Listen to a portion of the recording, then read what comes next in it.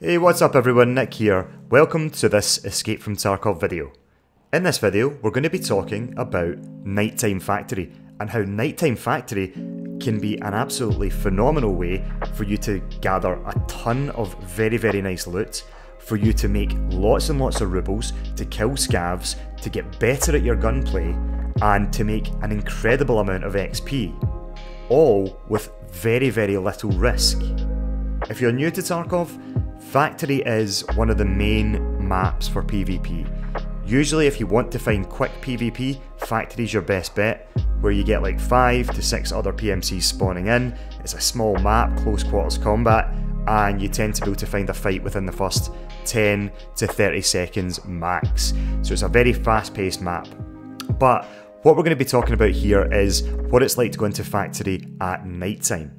And the way Factory works is there's a, a, a, fixed daytime and a fixed nighttime. Unlike the other maps where it's like a day-night cycle where you might spawn in, um, you know, at dawn or you might spawn in at sunset, that kind of thing, where it can be a bit of both. With Factory, it's fixed. It's either day or it's pitch black nighttime. And previously with Factory, the nighttime cycle used to be um, completely pitch black, but in the most recent update to Factory, where they added the expansion, it's become a little bit brighter. There are some areas with quite bright lights, and because of that, I think now you can more than ever get away with having just like a torch on your gun, which opens up new opportunities. You don't need to have NVGs.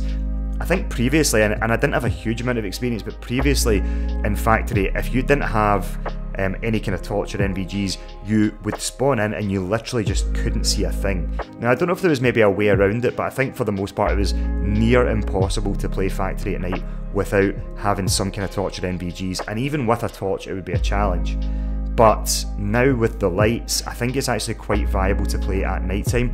There are challenges, and we're going to talk about that, but it can be very lucrative and it can also be very fun. And I'm going to run through some of the reasons why that is, and hopefully by the end of this video, you're going to have um, some ideas on how to have a bit of fun at night on Factory and potentially capitalise on some cool stuff. For me, my experience of playing Nighttime Factory really began towards the end of this wipe, the wipe that we're on just now. And we all know that right now we're, we're just about to head into a new wipe cycle with the upcoming Lighthouse edition and various other cool stuff.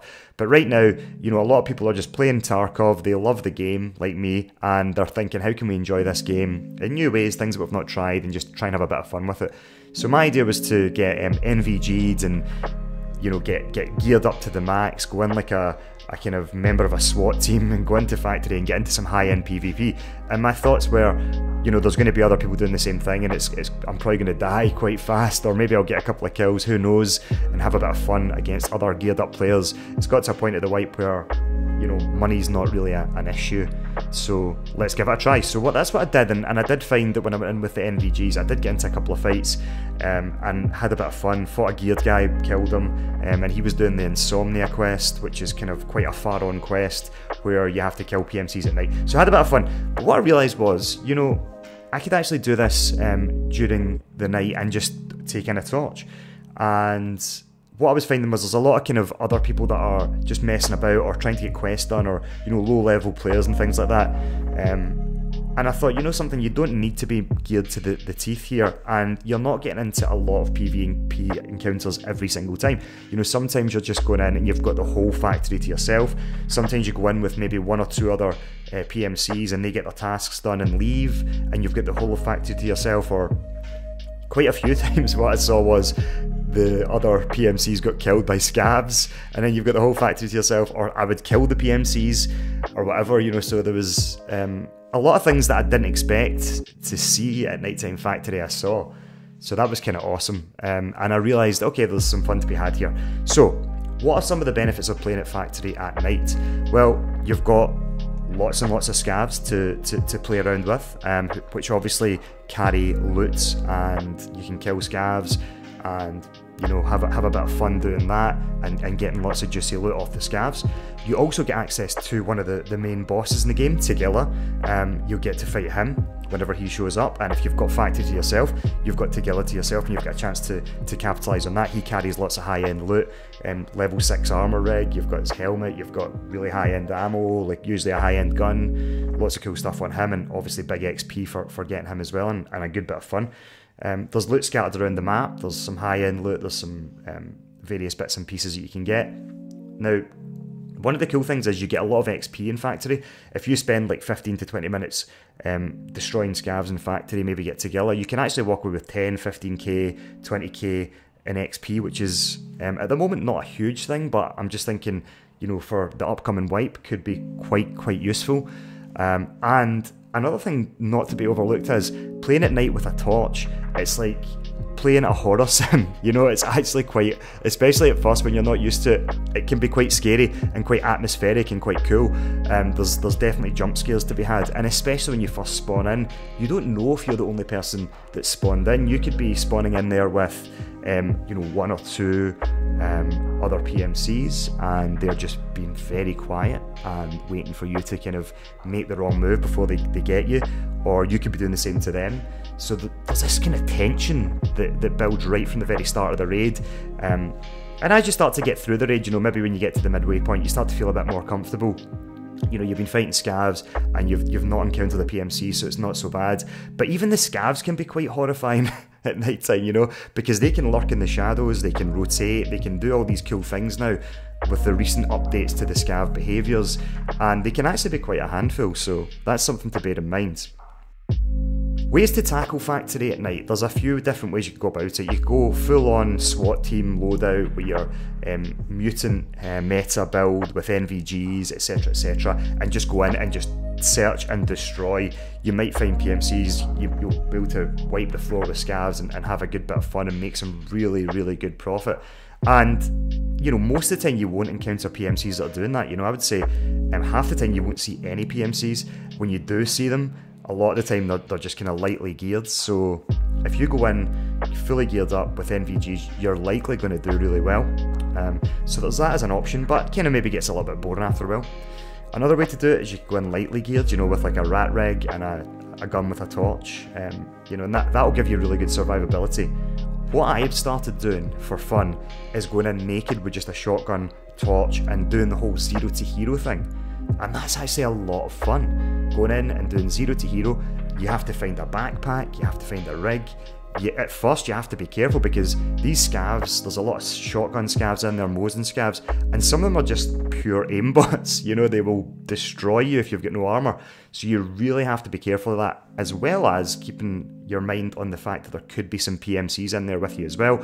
And there you are naked with a shotgun.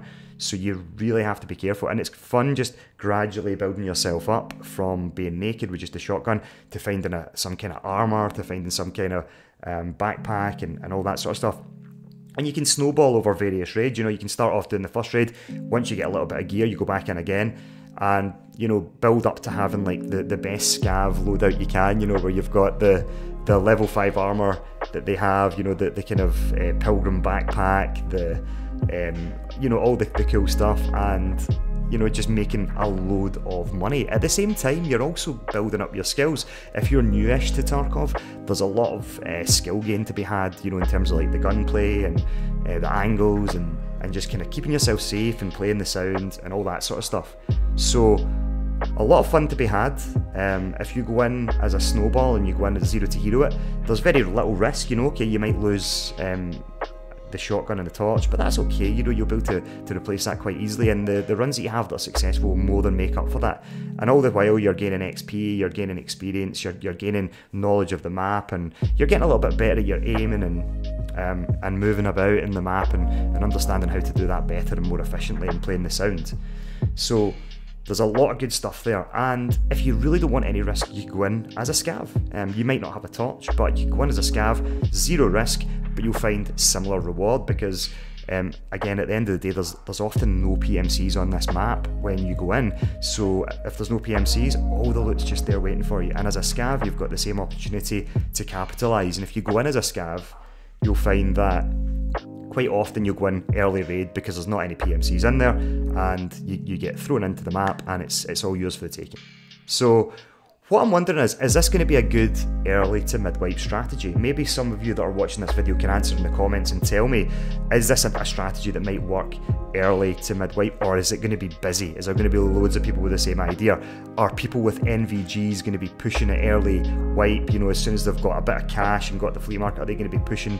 Who knows? But I think maybe, just maybe, very early wipe, going in as a scav to factory at night, or even taking your P- PMC in with like a, a Grach and a torch on the Grach might be a very good strategy to get lots of XP and start to build up your um, your your weaponry and your armor and things like that and start to make some good money. So maybe it is, maybe it isn't. But I'll tell you what, it's a lot of fun right now. It's like being in a horror sim. It's like a, especially when you go in solo, it's a horror game. It's dark, it's atmospheric. The scavs are dangerous, and the lurking PMCs are, are even more dangerous. So um, I'd really recommend if you've not tried it, give it a shot. See how you enjoy it. Um, and I would love to know what your experience of it is. Please leave a comment below. Let me know if you've uh, been a fan of Nighttime Factory or maybe you're going to try it now. And after seeing this video and seeing some of the, the clips playing just now, uh, maybe you're enticed to give it a go. And if you do, I would love to know how you get on. So do drop a comment and I will respond back to every single comment personally because I think that's uh, a good way to communicate with everyone. That's just about it for this video. Thanks so much for checking it out. I really appreciate it. If you haven't already, consider giving us a subscribe for more content like this and other cool stuff in the future. Thanks a lot. This is Nick signing off. I'll see you next time. Peace. Hey guys, Nick here. Just a quick thing to mention. Before I was able to upload this to YouTube, I was literally had my finger hovering over the upload button and BSG announced that they've got their pre-wipe event starting right now. So just be careful when you go into factory. It may look slightly different to the way it has done for the last few weeks for me, where it's been very quiet. You may see other scav bosses in there other than Tagilla, which may be a little bit more difficult, especially if you're going at night. So just beware, be aware that there's a pre-wipe event happening, but all the information you've got from this video is still good, and I hope you put it to good use now and at the start of the brand new wipe, which is less than seven days away. How exciting! We'll see you there. Enjoy. Talk soon. Bye bye.